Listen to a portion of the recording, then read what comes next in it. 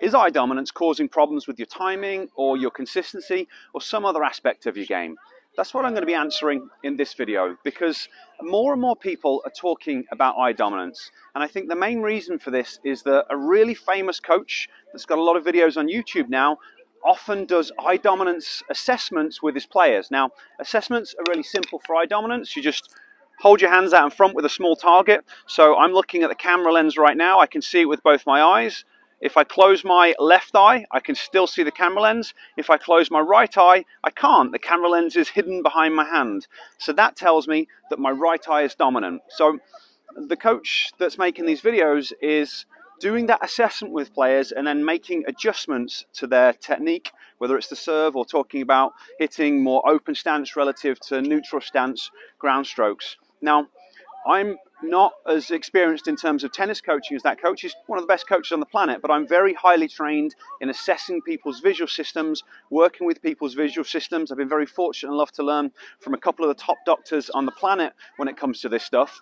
And personally, I would never make adjustments based on one vision assessment alone.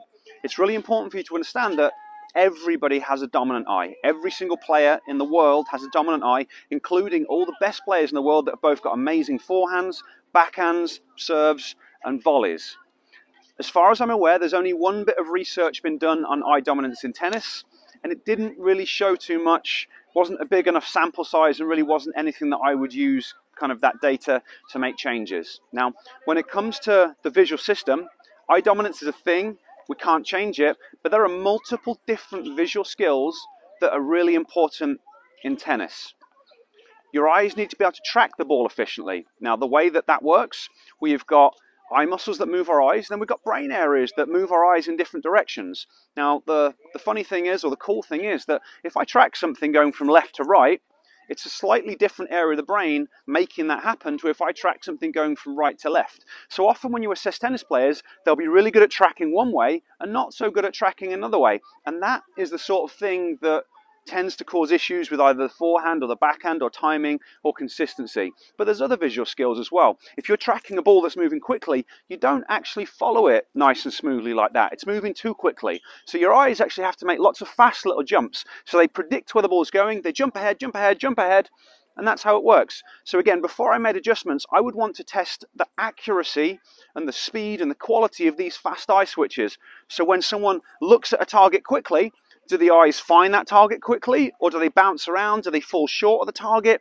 Do they go past the target? Because these are the sort of visual deficits that most people don't realize they've got that are actually causing problems within their strokes. Another key area in terms of what you do on court is going to be your spatial awareness, your ability to predict distance and to be able to judge how far things are away. Because if you're the sort of person that prepares late for your shots, that's just about always because your visual system can't predict where the ball's going. If you tend to get too close to the ball, you've got spacing issues, you've got issues with your timing. A lot of that stuff is to do with your ability to accurately judge distance and depth and how far things are away. And we've got different assessments that we can do for that as well. We can test the coordination between our eyes to see how they're functioning. We can test for something called visual suppression to see whether the brain is able to use both images correctly because often if the brain can't use both images correctly, that's going to create issues in that area. And these are the sorts of things that really hold players back on court. So I'm not saying that eye dominance is completely insignificant because it does have a, a tiny, like I mean, tiny little impact, but it doesn't have the sort of impact that most people think it does. And it's getting blamed for a lot of things when there's actually a lot of other stuff going on. Now, a lot of this kind of thought process stemmed from watching Federer, and when he hits his forehand, he keeps his head still on his forehand and he hits through it. And what people are saying is, okay, because he's left eye dominant, he turns his head onto contact so that he can see the ball on and off the target with his left eye. And it kind of makes a little bit of sense, although our brain uses both eyes together for good spatial awareness and distance judgment. But he does the same thing on his backhand keeps his head very still. And we've got players like Medvedev, we've got players like Alcaraz who also keep their head really still on contact. Now, are they both left eye dominant or right eye dominant? I don't know the answer to that.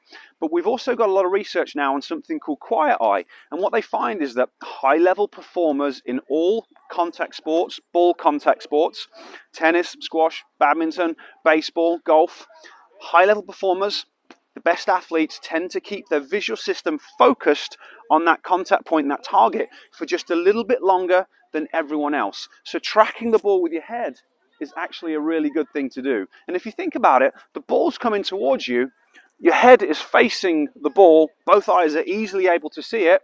As it comes closer to you, your head rotates at the same time. Your both eyes are tracking things simultaneously.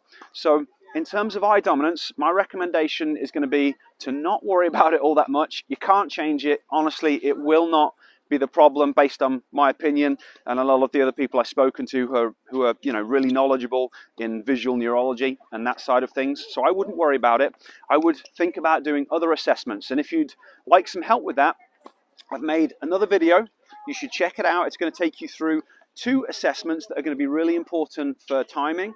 So we're going to assess eye coordination, whether they can work in coordination with each other. We're also going to test for visual suppression. And then it's going to take you through some different assessments that might also be important for your timing on court. So you definitely want to check that out if you're interested in learning more about vision in tennis.